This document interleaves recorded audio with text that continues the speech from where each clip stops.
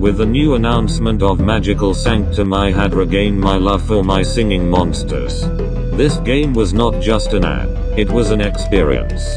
My Singing Monsters has great content, a colorful cast of monsters, spectacular music tracks, and more interesting game mechanics than Raid Shadow Legends or AFK Arena has in store. No other game can copy what My Singing Monsters has achieved and is still holding strong even after the golden era of mobile game apps had reached its end.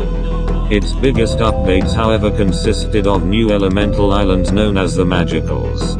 The magical islands were the first breedable non-natural elements that could be bred with natural monsters to create freshly new monsters with even better designs.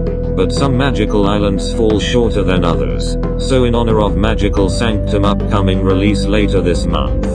Here is the ranking of my singing monsters, magical islands ranked from worst to best.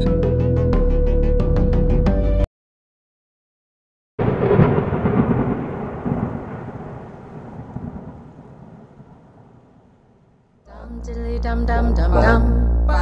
Dum diddly dum dum dum dum. Dum diddly dum dum dum dum. Dum diddly dum dum dum dum. Many of the My Singing Monster fans can agree with me on this choice. Though I still like Light Island, it doesn't compete towards the others. While the other three are mostly energetic, Light Island seems to tackle a lullaby, which makes sense cause this island makes me want to fall asleep. The monsters on Light Island had the most missed potential for designs. Floris and Gob are good in design, as well as Spytrap and Tutu, but Jesus did they run out of ideas with Fiddlement and Bloat, and they messed up big time with Pluck Bill's design. Not only are the monsters bland in design, the song is also very repetitive. Kayna's Dum Diddly Dum Dum keeps going for the whole song which gets really annoying and makes you want to mute her. Same goes for Floa, Bostus, Mammott, and Potbelly.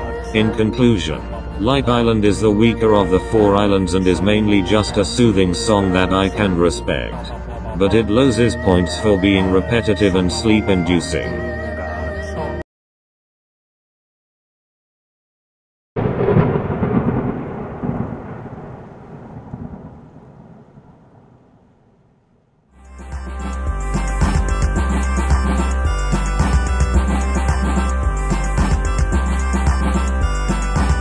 Now we're getting to the good stuff. Fairy Island.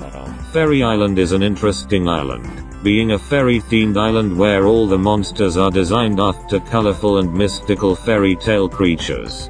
Bridget being based on a troll who lives under a bridge while Cantorell is based on the mystical mushrooms from enchanted forests.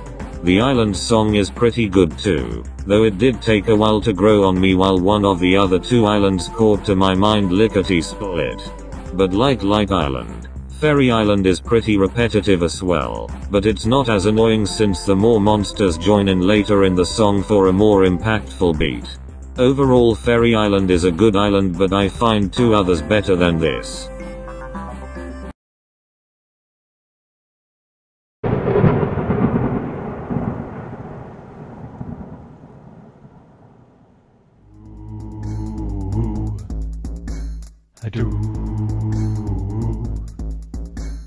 The Psychic Island is the OG magical island, and it was a huge point in my singing monsters since they are making new monsters with fresh new designs and unique sounds.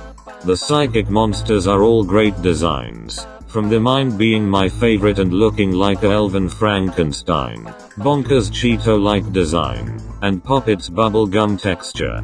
The song is pretty short but it makes up for it with great percussions and amazing vocals. They all sounds amazing and was a great way to kick off the Magical Island craze of 2019. But it's not number one. It just barely misses in being my favorite magical island. And I think we all know what the last island is so let's get right into it.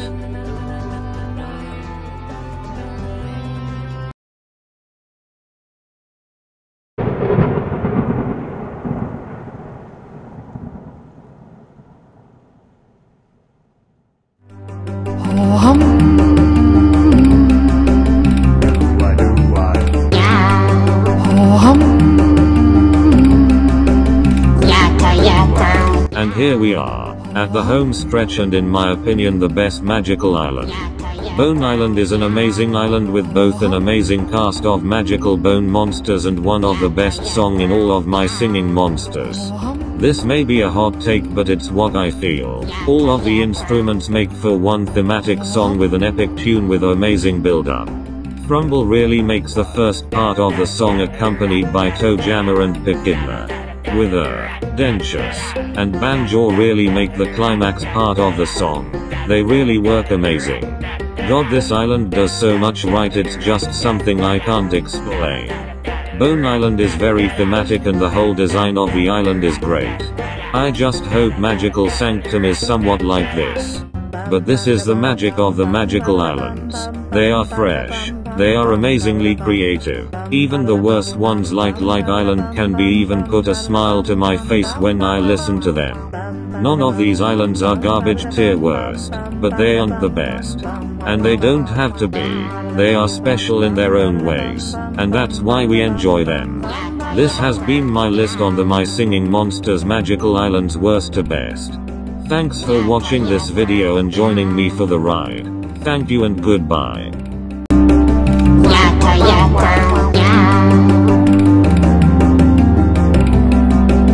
yeah, yeah.